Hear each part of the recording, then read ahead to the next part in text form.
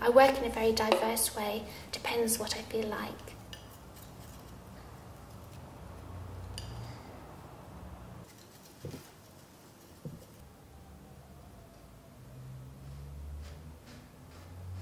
I did some very large oil paintings as a student and afterwards as well. For quite a few years afterwards, I would make paintings that were as, as big as eight foot long, and they were usually of landscape or an urban landscape with people doing things. But for various reasons, I kind of ran dry a little bit with those types of ideas. And I wanted to do something which was quite different. And I'd always had a real love of literature and of drawing in a very fine way, as well as painting in a very expressive way. So I started to make work which was very small with water based paints and also working in pen and ink. And I started to do illustration. But I do still paint in oils. Sometimes I just feel like doing an abstract painting using lots of thick, colourful oil paint. I used to always have a sketchbook with me and I would just draw everything that I saw. I've got lots and lots of these sketchbooks and I would never sell them because it was always my source material. Sometimes I used to just sketch walking along actually, um, so the, the sketches are often very wobbly. But then when I became more interested in doing illustration, I stopped doing that, and the ideas tended to come from my imagination or the piece of text that I was illustrating. And I really found that I had enough information in my own inner eye, in my imagination, to work from. The very fine detail that's in my illustrations it takes a very long time to do.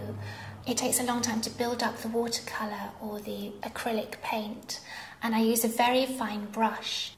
With one large scale illustration that I was making, I had to um, hold my breath as I was painting on the very fine gold lines um, because every time I breathed, my hand kind of wobbled.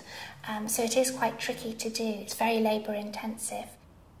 The style that I use when I illustrate is probably a style that I started using as a child. Um, I used to really like looking at illustrated books. And my favourite was an artist called Errol Le Cain, um, who did very fairy tale inspired illustrations. Um, so I used to copy these as a child and do my own versions of them, always on fairy tale themes. Um, so when I started to work in that way, I automatically started drawing as I had done as a child. The same ideas were kind of coming back that I wanted to create. But it was so interesting that it was very, very different from the work that I was doing as a painter, which used a lot of very thick paint and expressive brush marks and was often on a large scale and painted with a lot of energy. And whereas illustrations, you have to be very kind of calm and static. At the moment, I'm just thinking about how I can use these very different ideas that started when I was working as an illustrator in the way that a painter might do, and mixing perhaps more expressive ways of painting with this very fine technique and with a very strong narrative drive to it. The painting that I've got on the easel at the moment is a funny mixture between an illustration and an oil painting. I keep working on it, I keep changing bits that I'm not quite satisfied with.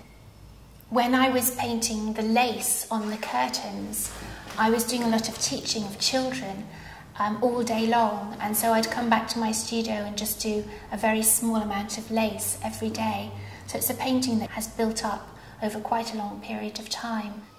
Um, I listen to the radio it's quite odd being on your own all day. And sometimes it's good, sometimes it's not. Because it's actually really hard work being an artist. It can be very frustrating. But at the moment, I do more and more teaching. So I think it's quite important, for me at least, as an artist, to fit the art that I do into the other things in my life rather than um, letting art dominate everything.